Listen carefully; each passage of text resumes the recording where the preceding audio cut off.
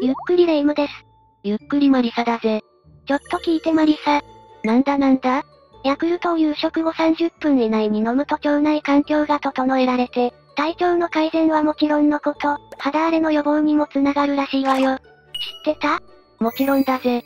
体の健康と腸は切っても切り離せない関係だからな。腸の調子を整えると体全体が健康になるってテレビで紹介されていたよな。さすがマリサ。ただ飲むだけだから簡単だし、やってみたらどうだ？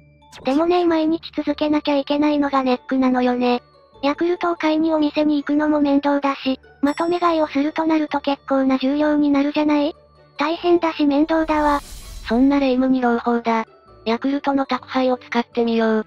玄関先の箱や職場にお姉さんがヤクルトを届けてくれるやつよねヤクルトレディーと言われる人たちだな。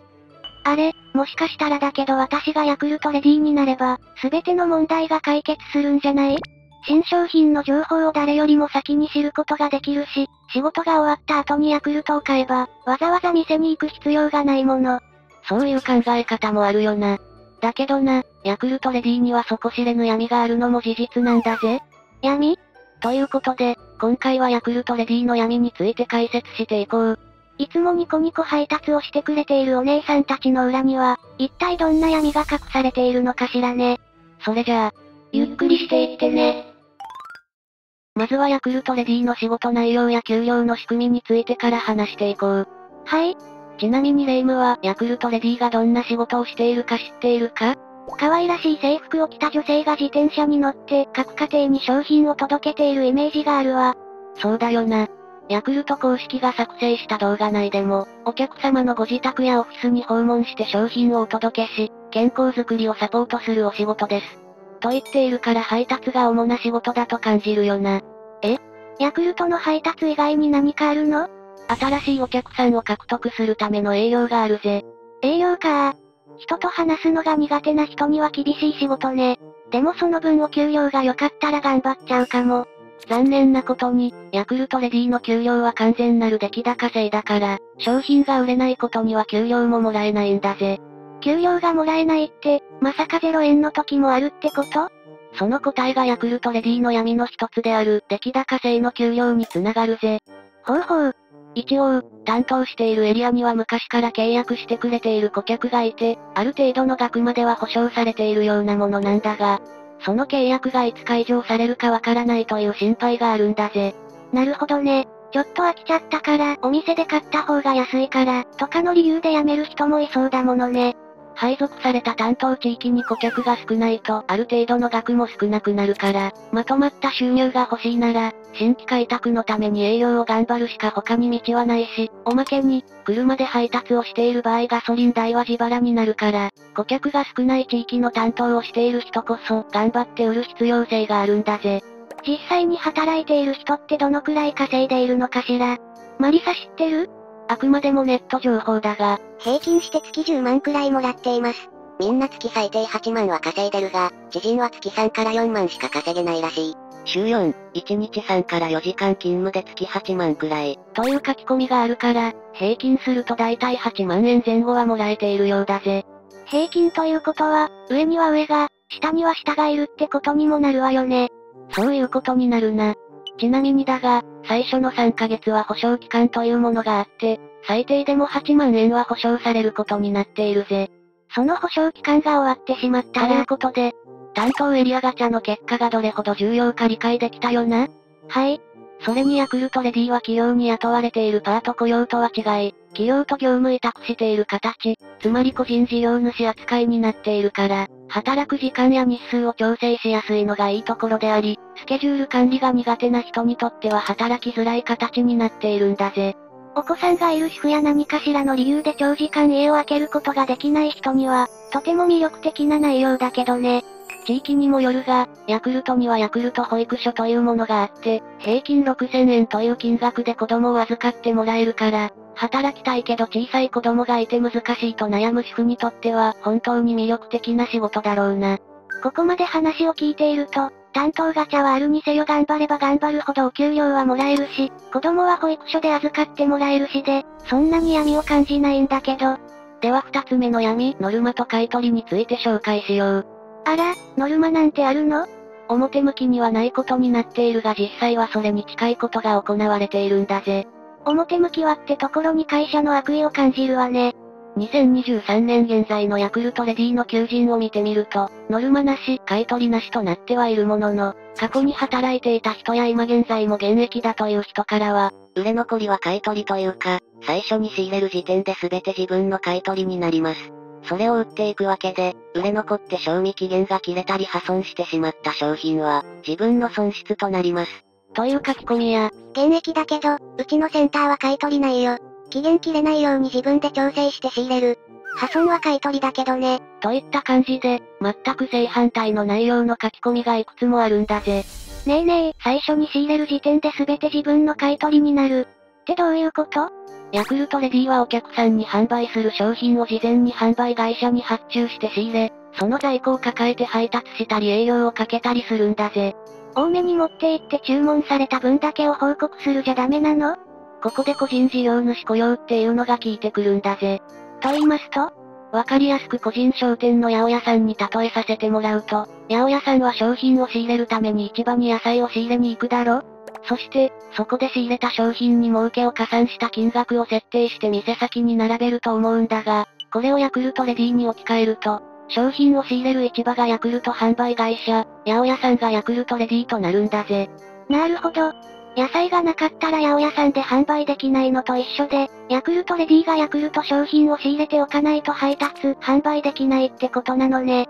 理解してくれて嬉しいぜ。ただ、この仕組みは各センターごとに取り決めがあるようで、中には仲間同士で同じ仕入れ価格の商品や期限が長い商品と交換したり、さばけそうな別のセンターに持っていくこともあるようだから、本当に買い取りがないところもあるようなんだぜ。実際のところがどうなのかは働いてみないとわからないってことね。ノルマについてだが、ヤクルトのホームページには、ノルマはありませんが、定期的なキャンペーンを実施する際は、センター全体で協力して、目標に向けて取り組んでいく場合はあります。としつつも、ノルマが課せられるというわけではなく、自分の目標に向かっていくというイメージです。としているから、表向きにはないことになっているな。お得意の表向きね。それで実際のところは？ノルマはありませんよ。ただ目標はあります。成績のグラフも掲示されます。達成しないと注意されます。ネチネチ言われます。でも目標ですから、ノルマではありません。という経験談を見ると、はいはい、そういうことね。ヤクルトレディという仕事に本当に興味があるなら、実際に働いている人に色々と確認した方が良さそうね。ここまでは仕事内容や給料についての闇を紹介してきたが、次は精神面と体力面に関する闇を紹介しよう。新しいお客さんを獲得するために営業が必要だったら、そりゃあ精神的に負担がかかるのも頷けるわよね。誰とでも会話ができるコミュニケーション力や商品を売ることができる営業力が必要だから、今までそういう仕事と縁がなかった人にはかなりの精神的負担がかかるだろうな。繊細な私にはちょっと無理そうね。営業をしなきゃいけないという負担以外にも女性が数多く活躍している職場というのも、原因の一つだと言われているんだぜ。ああ、女性が多く集まると発生するあれね。そう、表には出さないけど水面下では何かしらの争いが発生しているやつだぜ。ネット上には、面接受けてる後ろでレディー同士の悪口大会を大きい声でやっていたけど、面接の担当が、うちは人間関係はいいですよ。と言っていた。知人のいた栄養所ギスギスしてるらしくて辛そうだった。商品の交換をお願いしても誰も何も言わずに無視された。という書き込みもあったぜ。これに関しては同じ女性として言わせてもらうけど、そうなりたくてやっているんじゃなくて、気がつけば自然と発生しているものなのよね。それに、女性のみんながみんなそういうものに属しているわけじゃないから、こればっかりは職場によると思うわ。それはその通りだぜ。もし面接などで実際に職場に行くことがあったらそこら辺もしっかりと観察しておくことをお勧めさせてくれ。しっかりと心に留めておくわね。気をつけてほしいのは、実は仲間だけじゃないんだぜ。と言いますとお客さんにも注意が必要ってことだぜ。相手は人間だし、何があるかわからないものね。お客さんの中には、ニコニコ喋ってくれるからと勘違いしてしつこく誘ってくる人がいたり、家のピンポンを押しただけで怒鳴り散らす人もいるようだからな。強靭な精神とスルーできるスキルは必須だろう。うまく受け流せない人は心に傷を負っちゃうかもね。体力面についてはどういった闇があるの？ヤクルトレディの仕事って主に外回りだろ？だから大雨が降ろうが、風が強かろうが相当な荒れ模様でない限り、休むことは許されていないんだぜ。おまけに運んでいる商品の数が多ければ多いほど、その重さはとんでもないものになるから、家事や育児で腰などを痛めていると症状が悪化する危険性もあるんだぜ。健康をサポートするためにヤクルトを届けてくれる人がボロボロって笑えないわね。ヤクルトレディ全員がそういう経験をしているわけじゃないけど、中にはそれが原因で辞めた人や病院が良いになった人もいるから、まずは自分の健康を大切にする必要があるよな。まずは仕事を始めてみて、やっぱり無理そうだったら辞めるのも経験よね。ま、マリサ？そう簡単に辞められないのもヤクルトレディの闇なんだぜ。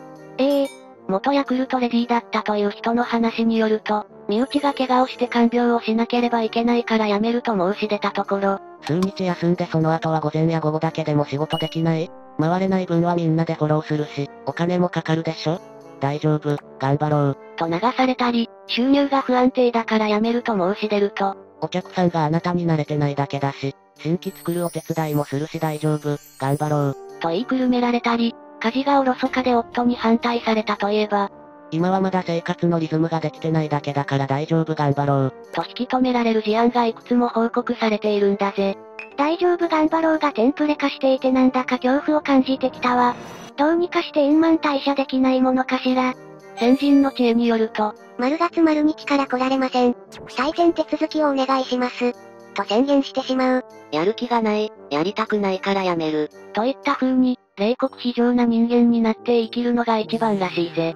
心優しき私には、冷酷非常人間を演じるのも精神的苦痛を感じちゃうわ。一度辞めたいと感じてしまった以上、今までのようないい仕事はできなくなるからな。担当しているお客さんに迷惑がかからないためにもここは行動あるのみだぜ。いろいろと聞いてきたけど、なんだかヤクルトの会社自体が怖くなってきちゃった。勘違いしてほしくないんだが、ヤクルト自体は60年以上も経営を続けているしっかりとした会社だし、扱っている商品もちゃんとしたものだから、今回の解説を聞いて変な偏見だけは持たないようにな。そうよね。ヤクルトレディが訪問したことによってトイレに閉じ込められたお年寄りが、助けられたってニュースも見たし、彼女たちには何の罪もないものね。